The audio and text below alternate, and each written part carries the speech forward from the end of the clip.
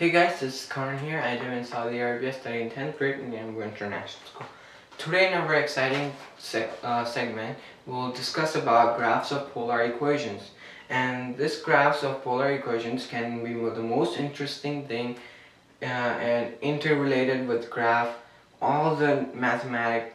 Now, what I want you to do is consider this after what we talked about, a polar form if this was a polar form, cosine of theta, which is 30, let's say, we can say that since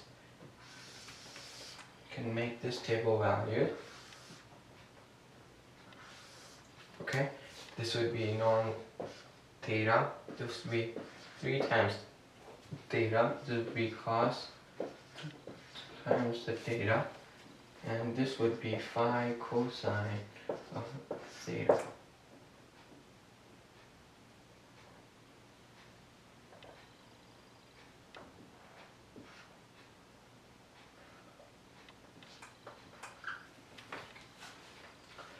Plug in 0 for this one.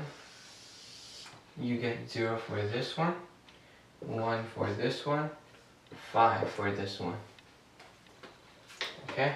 Because you know the logic is going, if you have cosine of 0 it's 1, then cosine, this would be equaling out to 1, 1 times 5 is 5. Okay, then if you plug in 10, you get 30 here, and if you get 0 0.87 over here, and you would get 4.3 over here. Let's move on to something. Uh, let's say we plug in 50. Well, you get 150 here, then you get negative 0.87, then you would get over here negative 4.3.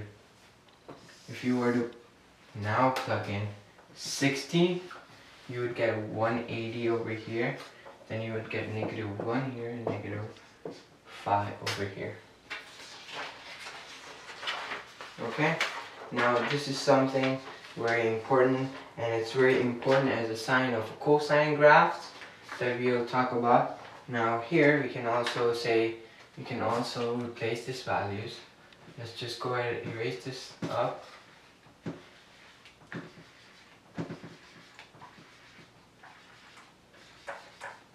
observe these things for a minute. It will make sense to you after we're done with this. Okay, so if you plug in from 0 to 30, you would get your answer to be 0 from 90. You would get 1 to 0, okay? You would get 5 to 0. If you plug in your value to be 0 to 30 as your theta, okay? Then if you plug in your theta to be uh, 30, oops, 30 to 60, you would get your values to be 90 to 180. Okay? Then you would get your answer to be 0 to negative 1, and this one would be 0 to negative 5. This one over here, if you plug in 60, 60 to 90, you would basically get 180 to 270 and then here you will get negative 1 to 0 you will get negative 5 to 0 here if you plug in let's say 150 to 180 okay you would get 450 to 540 then here you would get 0 to negative 1 and 0 to negative 5. So you see you observe something which is going along these lines, okay? Now I want you to observe it by yourself, okay? Now let's go ahead and talk about this particular function that we took. Let's go ahead and erase this thing up. We said that everything consists is consisting of x and y. Whoops. x and y. So what does this form over here. So the x form for this one would be phi cosine of 30. Okay, if you phi cosine of 30 over here. Then you do cosine of t. Okay, now for the second one, that would be phi cosine 3t times sine of t.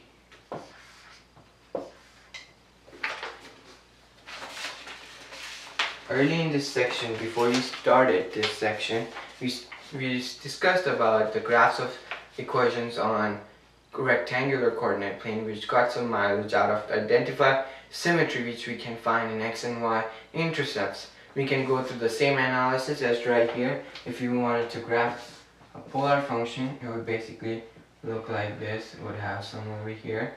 Then it would go through over here then it would go through over here basic this over here so this was polar axis. This is how the graph would basically look like. And there's lots of symmetry involving right here as well. So let's go ahead and go to a graph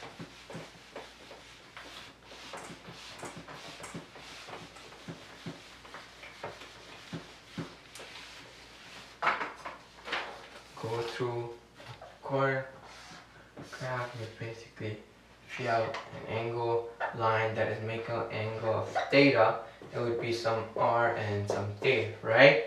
So if you were to take this one over here, take this theta, this would be a polar axis as well. This would be r as this was, and it would have r and theta as well well, over here now. But theta would be negative because it's a negative angle, right? Now here, you would have, let's go over here, reflect this over here, and this would have some theta, and you would name that some r comma theta, right? Now this over here, what we just made, known as pole. Okay? And this, as we know, is the radiance of pi is equal to pi over 2. So what we can do is basically we can write this as negative r because it's reflecting it towards it directly be pi minus some theta. Okay, so in the actual form we can write this as r is equal to phi cosine of 3 theta. Okay, then we can write it as phi is equal to r phi cosine of 3 times the negative theta okay? And then we are moving on to this one which basically makes it r is equal to phi cosine of 3 times the theta okay? So you see we we ended up with the same equation what we started we went to the past process okay?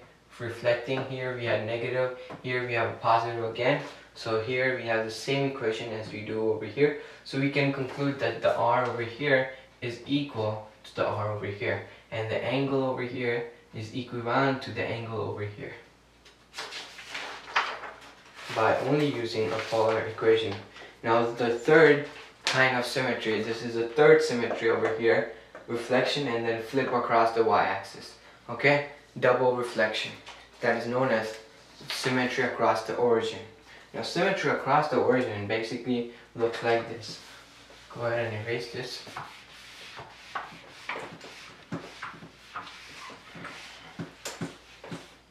Symmetry across the origin basically looks like this. You would have something going on over here.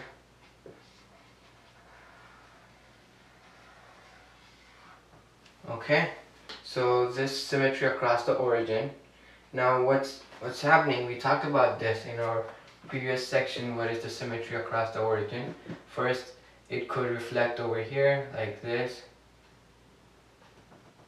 and then it reflects over here. Or, this is the first part, or it could reflect over the y-axis. I'm trying my best to draw this thing, but I can't. So, let's just say you go over here something, and then you reflect it down. It's double rotation. Flip across the y and then flip across the x.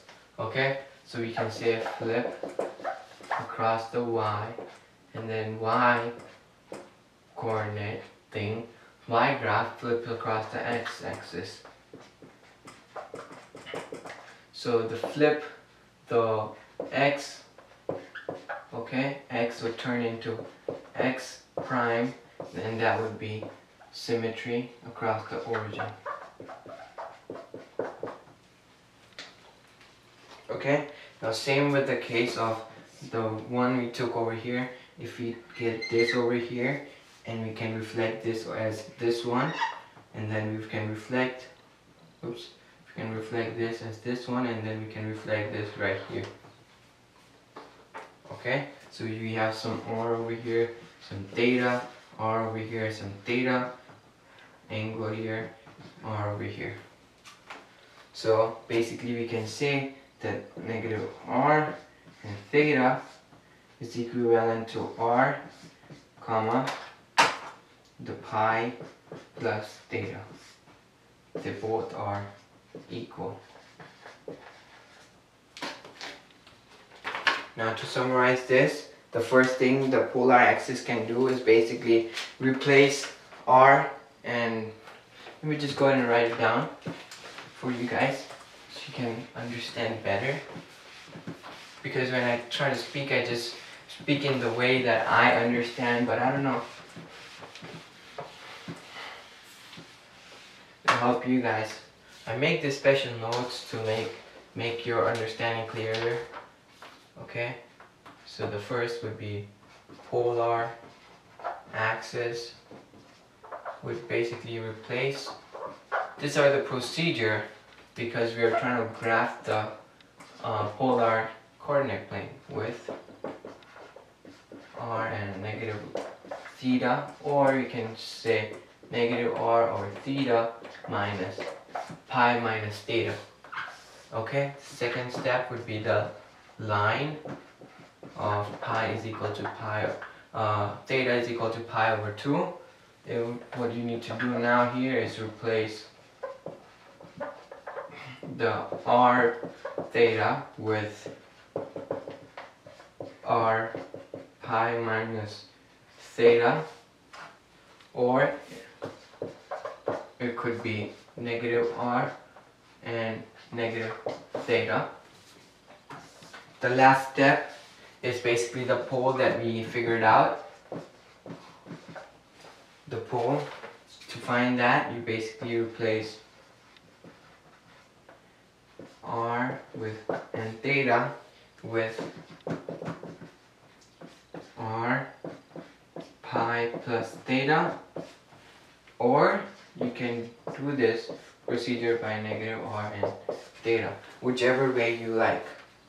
Okay? So these are some helpful things and we talked about the symmetry graphing symmetry of uh, symmetry across the origin of polar coordinates. So i hope you guys enjoy this video. Give it a like comment and subscribe. There's a facebook uh, url down below in the description area. Give that a like. Share this video with your friends and family.